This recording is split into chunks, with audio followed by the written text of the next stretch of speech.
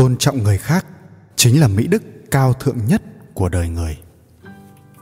Ngày nọ, có một ông lão ăn mày, quần áo rách rưới, đầu tóc bù xù, trên người bốc ra mùi hôi khó chịu, dừng chân đứng trước một cửa tiệm bánh ngọt náo nhiệt. Những vị khách mua hàng đứng bên cạnh đều bịt mũi, nhíu mày, tỏ vẻ vô cùng khó chịu với ông lão. Nhân viên bán hàng quát to đi ngay chỗ khác, đi ngay đi. Người ăn mày lập cập lấy ra mấy đồng tiền lẻ, cáu bẩn, nói, tôi đến mua bánh ngọt, xin hỏi, loại nào là nhỏ nhất?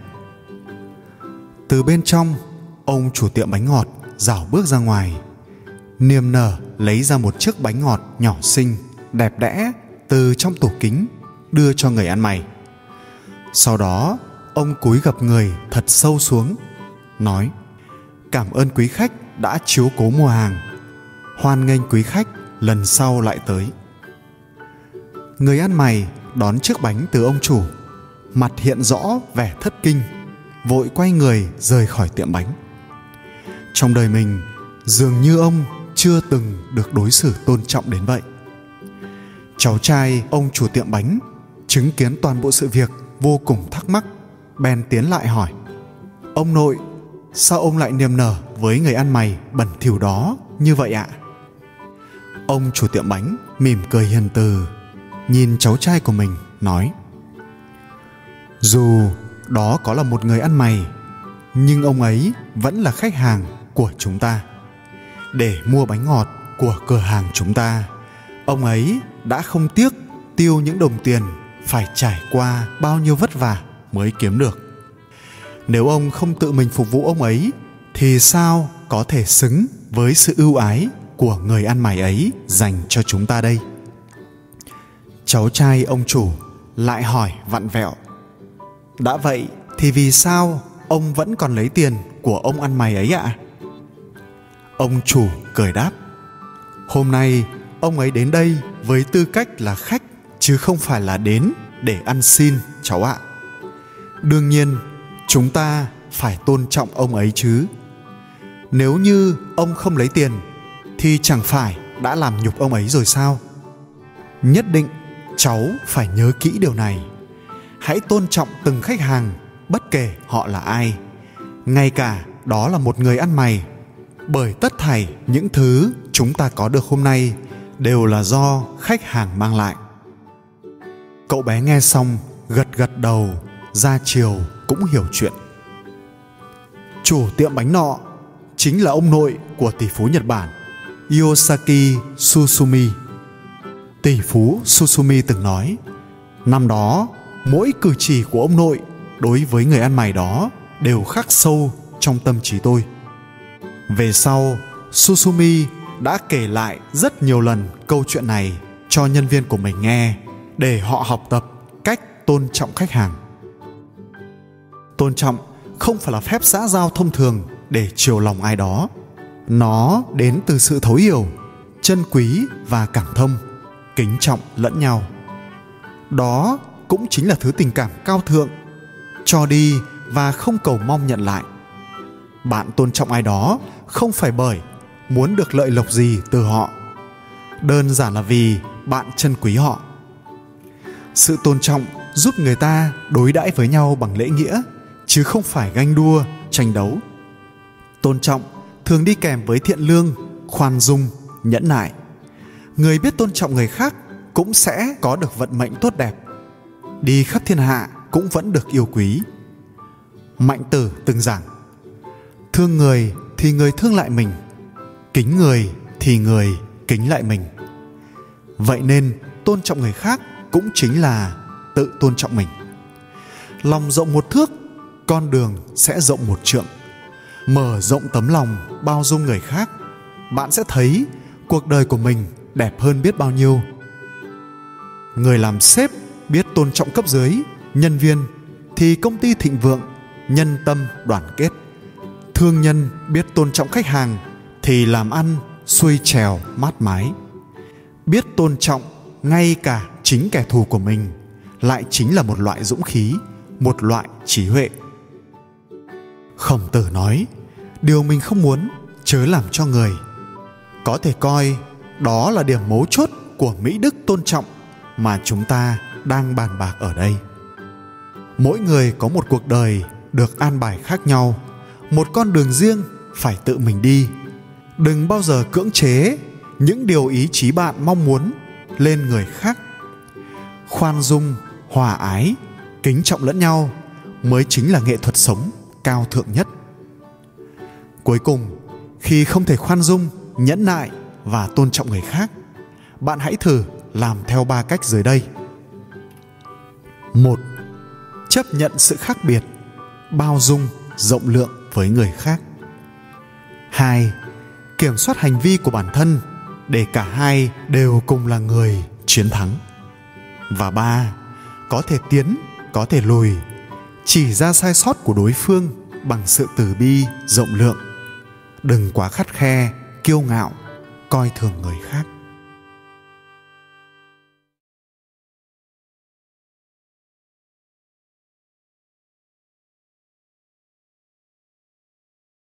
Đời người rốt cuộc có ba điều không nên.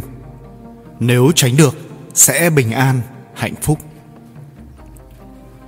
Cuốn thái căn đàm do hồng ưng phúc thời nhà minh viết lưu truyền cho con cháu đời sau đã gần 400 năm. Cuốn sách không chỉ được văn nhân các triều đại trong lịch sử ca ngợi, mà nhân dân cũng rất mực tôn sùng, lưu danh muôn đời. Nội dung chủ yếu của cuốn sách này là những lĩnh hội và thể ngộ sâu sắc của Hồng Ứng Minh về muôn chuyện trên cõi thế nhân. Ông đã đề cập tới những phương diện như khuyến thiện, lập trí, xử thế và tu dưỡng – ngôn từ được gọt rũa ý vị sâu xa. Đây là một tác phẩm kinh điển về tu thân dưỡng tính rất trí lý trong văn hóa truyền thống á đông.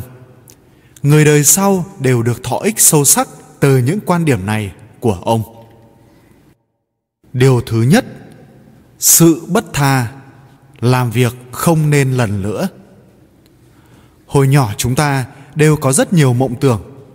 Nhưng biết bao nhiêu giấc mộng ấy cứ bị lần lữa hết lần này tới lần khác, cuối cùng đều thành giang dở. Trong thái căn đàm có một câu như sau, đời người chỉ như hạt gạo trong kho, như tia chớp vụt qua trước mắt, như cây gỗ mục bên bờ vực thẳm, như một con sóng giữa biển khơi. Nếu biết điều này, sao lại không thấy bi ai? Sao lại không thấy hạnh phúc? Làm thế nào mới có thể không phá bỏ mà cứ ôm giữ nỗi lo ham sống của con người? Làm thế nào mới có thể không lưu lại nỗi nhục sống một cách hoang phí? Đoạn này đại ý là đời người quá ngắn ngủi. Nếu biết được điểm này thì con người sẽ không phải hối tiếc vì lãng phí thời gian quý giá của mình. Mọi người thường quen với việc cứ lần nữa, hết lần này tới lần khác trước khi hành động, thường muốn hưởng thụ một chút an nhàn sau chót. Nhưng hễ nghỉ ngơi thì lại không dứt ra được. Cứ muốn tiếp tục hưởng thụ mãi như vậy. Cuối cùng thì sự lần lữa này sẽ trực tiếp khiến hành động thất bại. Lười biếng chỉ là bản tính của nhiều người, chỉ cần chúng ta nỗ lực khắc phục là được. Nhưng người có thể hoàn toàn khắc chế được tính lười nhác, rốt cuộc vẫn chỉ là thiểu số vậy nên Tăng Quốc Phiên mới nói, Người tài trong thiên hạ xưa nay đều bại chỉ với một chữ kiêu. Những người thường trong thiên hạ xưa nay đều bại chỉ bởi một chữ nhác. Người tài được nhắc đến ở đây là chỉ những người có tư chất thông minh. Người thường là chỉ những người bình thường như chúng ta. Tăng Quốc Phiên là một điển hình của việc lập trí tu thân dưỡng tính ông đã khắc phục được tính lười nhác của mình thông qua hai việc. Một là viết nhật ký, hai là dậy sớm. Trong khoảng thời gian ông quyết tâm dậy sớm này, khi thì ông dậy sớm, lúc lại vẫn dậy muộn. Ông cứ sửa rồi lại phạm lỗi phạm lỗi rồi lại sửa như vậy. Nhưng cuối cùng, số ngày ông có thể dậy sớm trong nhật ký vẫn nhiều hơn. Có câu nói rằng, những năm tháng tuổi trẻ khó quay lại một ngày khó có hai buổi sáng. Hãy khích lệ đúng lúc, bởi tháng năm chẳng đợi người. Cứ lần nữa, hết lần này tới lần khác, thì thứ bị hao mòn chính là sinh mệnh của bản thân mình. Tới già hối tiếc, thời gian đời người thấm thoát thôi đưa thì cũng đã muộn. Chi bằng hãy nỗ lực phấn đấu ngay từ bây giờ. Người thành công là người lập tức hành động. Chỉ có hành động tức khắc mới có thể nắm bắt được thời cơ trước người khác. Điều thứ hai, họa bất đa. Lời không nên nói nhiều. Trong thái căn đàm, có nói rằng, người có đức thì kiệm lời, người hấp tấp thường lắm lời. Người có đạo đức tự biết mình hành thiện không đủ, nên nếu không phải trường hợp bất đắc dĩ thì họ cũng không mở miệng. Người hấp tấp nóng vội, muốn khoe khoang nên nói rất nhiều. Có câu, họa từ miệng mà ra. Vậy nên, những gì nên nói thì mới nói, những gì không nên nói thì nhất thiết không được nói. Nếu không, tai họa sẽ giáng xuống đầu, lúc nào không hay. Mạc tử từng trả lời học trò tử cầm của mình rằng, cứ nói huyên thuyên thì có ích gì? Chỉ như con ếch, ngày càng kêu trong đầm nước, khiến miệng lưỡi đều khô cong nhưng chẳng ai nhòm ngó tới nó. Nhưng gà trống chỉ gáy hai ba tiếng khi trời rạng sáng. Mọi người nghe thấy tiếng gà gáy, đã biết trời sắp sáng, nên đều chú ý tới nó. Trong cuộc sống, những kiến giải tinh túy, thâm sâu mới được mọi người đón nhận. Huỳnh hoang khoác lác cả ngày chỉ khiến người đời càng thêm ghét bỏ. Thực tiễn chứng minh rằng trong lời có vật truyền tải, nắm vững một cách chính xác chừng mực của lời nói mới có thể tăng thêm sức cuốn hút cho bản thân mình, từ đó giành được nhiều cơ hội thành công hơn. Điều thứ ba, nhân bất tác, làm người chớ khoa trương. Một người khiêm tốn quá mức gọi là tác, mà luôn khoa trương quá trớn cũng gọi là tác. Ngưu nhị trong thủy hử đã để lại một câu nói nổi tiếng trước khi chết rằng, hãy đến đây, nếu là hảo hán, hãy cho ta một đao. Sau đó liền bị dương trí chém chết. Đây gọi là bất tác bất tử. Nếu không khiêu khích thì đã không chết. Tác nghĩa là không chịu yên phận. Sau khi yến vương chu lệ đăng cơ, lấy niên hiệu là vĩnh lạc. Trong số con trai của chu lệ có hai người có hy vọng được thừa kế vương vị nhất con trai trưởng chu cao xí, chỉ là một người với vẻ ngoài béo, yếu ớt, nhiều bệnh, nhưng tâm địa nhân hậu. Con trai thứ là chu cao hú, võ dũng hơn người.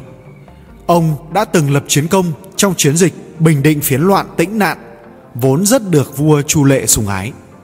Nhưng người này lại quá cao ngạo, hống hách. Cuối cùng thì chu lệ đã trao lại quyền hành cho con trai trưởng là chu cao xí chu cao hú được phong làm hán vương. Nhưng chu cao hú lại không hề an phận. Đất mà phụ vương chu lệ tấn phong cho ông ông không chịu đi mà cứ ở lì tại nam kinh. Thậm chí tự so sánh mình với đường thái tông, dung túng cho thuộc hạ làm chuyện thị phi, ngấm ngầm chiêu mộ binh mã, không chịu an phận vương của mình. Sau khi chu cao xí qua đời, chu cao hú đã âm mưu làm phản, nhưng thất bại và bị nhốt vào ngục. Nhưng y vẫn không an phận. Tân hoàng đế tới gặp ông. Ông lại tròng dây khiến hoàng đế ngã dập đầu. Hoàng đế hạ lệnh khóa ông vào một cái đỉnh đồng ông vẫn nhắc lên đỉnh mà đập tán loạn. Cuối cùng, hoàng đế phóng hỏa bên ngoài cái đỉnh, thiêu sống ông. Tác là ngông cuồng thách thức. Năm 310 trước công nguyên, tần huệ văn vương qua đời tần vũ vương kế vị. Tần vũ vương, thiên bẩm đã có thần lực. Từ nhỏ, vóc dáng cao hơn người, khỏe mạnh, võ dũng, hiếu chiến, thích so tài với người khác. Đại lực sĩ nhậm bỉ, ô hoạch, mạnh bôn, do vậy đều rất được trọng dụng. Năm 307 trước công nguyên, tần vũ vương đi tuần ấp đô lạc và thách đấu nhấc đỉnh đồng với hai đấu sĩ ô hoạch, mạnh bôn. Kết quả là hai mắt ông chảy máu, xương cẳng chân bị gãy. Ngay tối hôm đó, tần vũ vương qua đời vì mất quá nhiều máu. Ông tắt thở khi chỉ mới 23 tuổi. Một người khi hành sự, biết thuận theo tự nhiên, ngay chính thì được bình an. Làm việc biết yên phận và tự lượng sức mình mà không thái quá thì cũng không có gì phải lo lắng. Không giả dối, không hoanh hoang, sống thực với bản tính của mình có thể nắm bắt được chừng mực cũng không phải là chuyện dễ dàng. Thường thì con người sẽ đánh giá mình cao hơn khả năng thực tế, cho nên mới thường làm nhiều việc quá sức.